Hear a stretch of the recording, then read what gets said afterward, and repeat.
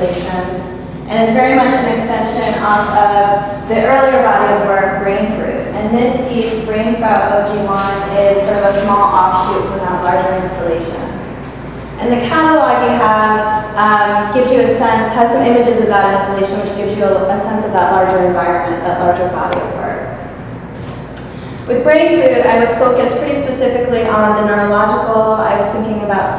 Exchange, the elastic potential of the mind, and I became interested in the electrical impulses that control human thought and behavior. And that led to a broader interest in bioelectricity. And bioelectricity is the electric current that flows through all living tissue.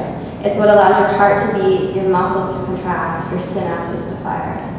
And in my mind, it's sort of at the core of what it means to be alive and to have a consciousness. And I was sort of blown away by this idea that we're actually highly complex electrical devices um, on the microscopic level.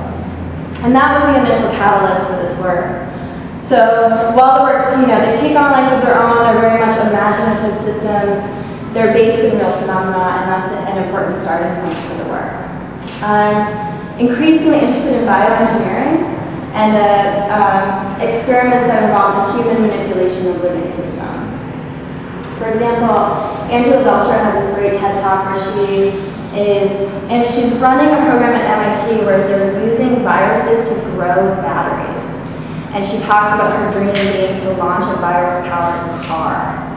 And she talks about combining elements on the periodic table in ways nature hasn't thought of yet, or we might not think of for thousands of years.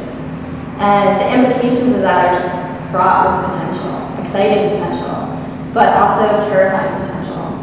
Um, so I hope for my work to embody this uh, sense of potential and flux, um, but also to have this tension where it's ambiguous whether the forms are benign or toxic. So the work is playful and inviting, but also maybe a little unnerving and a little disconcerting. Um, and that idea of potential is embodied through the use of installation itself. Installation is a mode of working. So I think of each installation as a frozen moment in the life of the work. And it's important that the work changes each time it's installed so that there's this continual expansion and sense of flux and movement and vitality. Um,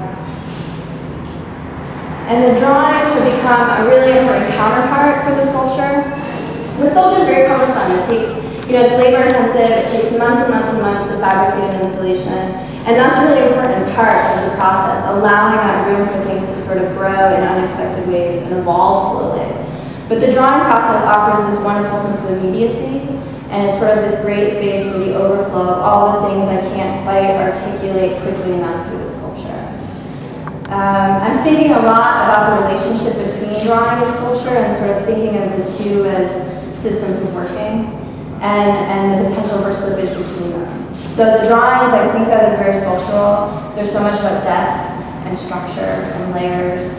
And I've always thought of the sculptures as drawings in space, as so much about line and movement.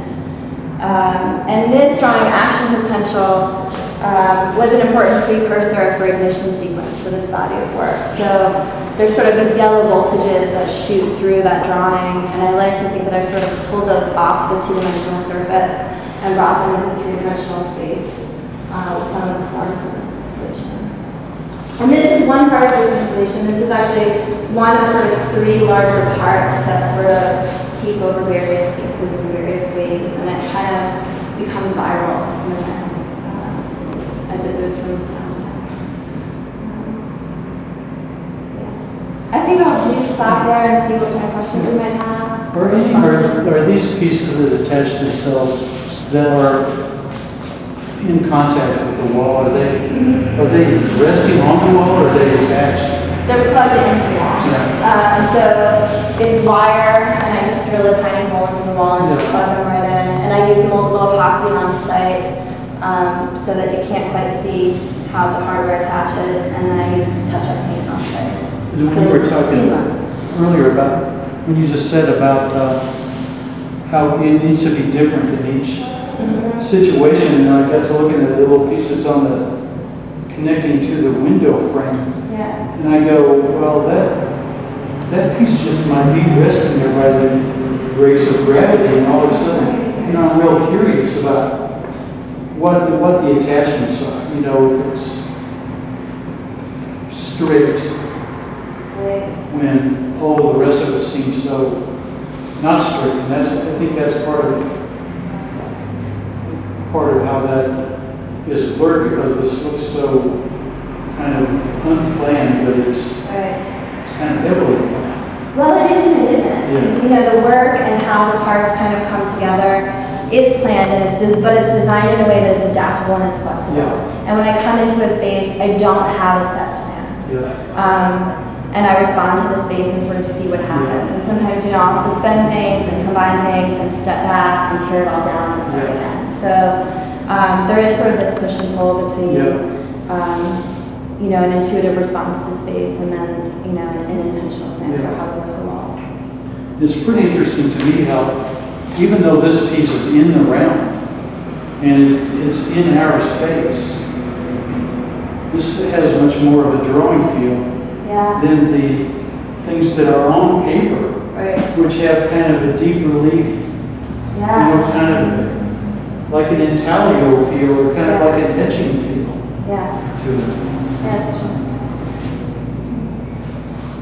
I was wondering personally, um, you always talked about this section of brain fruit being the impetus for this larger inspiration. Yeah. What about this piece inspired uh, the larger ignition sequence? Well, it was this interest in uh, electrical impulses. And I started reading, I found this great article that was about mild electrical brain stimulation, which is basically new experiments that they're doing where they're hooking people up to electrodes and they're pumping them full of mild, mild voltages and seeing how it affects um, psychological states and well-being. And it's, it, they're getting some pretty amazing results. So that led to this interest in bioelectricity, um, which kind of opened up this whole other world. Um, and these forms are sort of actually, this was, these electrical plug forms, which get pretty abstracted, were the initial forms that I fabricated for this work.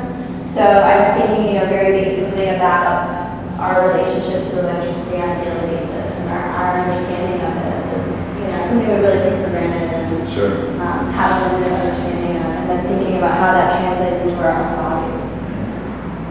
Yeah, because like when I'm looking at the brain fruit installation that you did, like relating that to like the brain and like um, it's like a really complex network in your head. And, Like I can see like through all the like the the lines that are going on, it has like a really complex depth network kind of feel to it. It's like it just has like when I look into it and all these like shadows and lines is so like complex and it has so much depth in it. And, like I kind of think of that way with the brain, how how much we think and all the like electrons going on in our head and stuff. So Well, what's saying is so much like we don't know about how the brain works and about how the body works, you know? And I think that potential, uh, yeah, is exciting.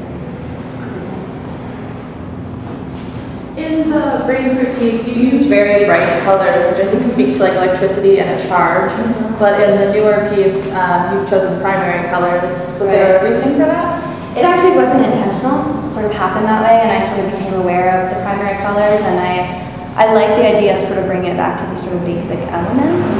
Um, but again, I still think of this as sort of different electrical currents coursing through the work and coursing through the walls and through the space.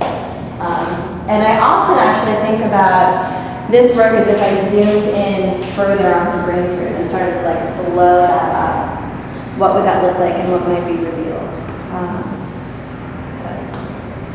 And it's kind of ironic on one hand, when you think about it, the electrical current yeah, choosing the path of least resistance. right. And these are all like, like that. What is it about that, that serpentine kind of wayward shape that is, that is the path of least resistance that that, that that current might take? Would you ever like think about doing uh, maybe something that's not, I guess, like in a gallery, like or zoo, or do you see it as being in a gallery space? For a long time, I was really obsessed with like the white space, like why were to exist in this void. So it was almost like the gallery became like a petri dish or uh, this sort of sterile space for the work. And I, I am starting to move away from that, but I don't know how far just yet. But, yeah. Anything else? I really love uh, the drawing on the end. Oh, It's awesome. yeah. It's like- For some reason, it's really drawn to that, like looking in, seeing all the layers, like you're looking through a microscope or something. It's like this intense focal point, yeah, yeah. I always wonder, so you're, it's just like the lucid side.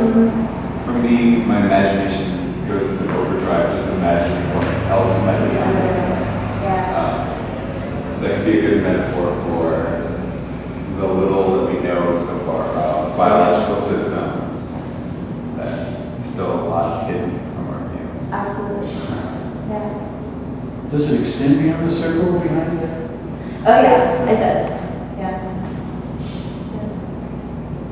Yeah, the drawings are very messy underneath. Yeah. and very experimental. and It's a lot of sort of, you know, adding pieces in and pulling things out. And I love working in that process with the layers. They're so, I don't have to be precious about it. I can really experiment and I don't have to worry about um, taking risks. And that's really important with my